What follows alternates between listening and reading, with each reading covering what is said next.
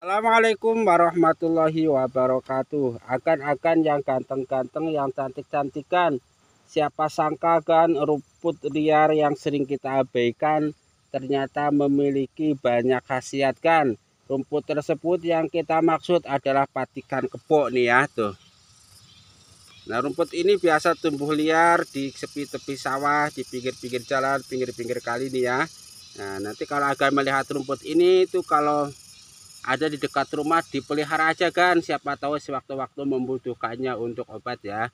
Misalnya dari sekian banyak khasiat patikan kepo yang pertama adalah itu untuk meredakan penyakit asma. Nah, tentu dengan cara yang benar ya.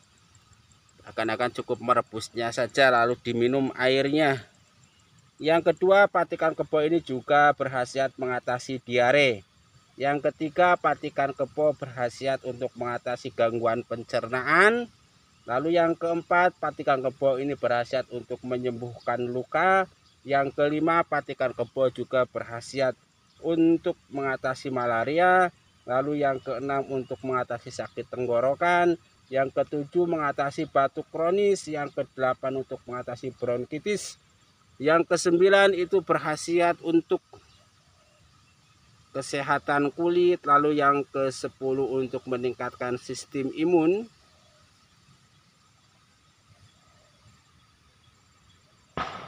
Dan yang ke-11 untuk meningkatkan gairah seksual ya, obat kuat istilahnya. Lalu yang ke-12 untuk mengurangi pembengkakan.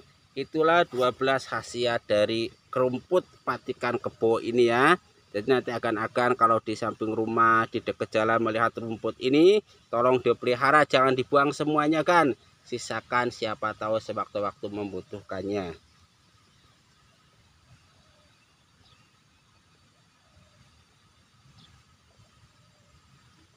Sekian dan terima kasih. Wassalamualaikum warahmatullahi wabarakatuh.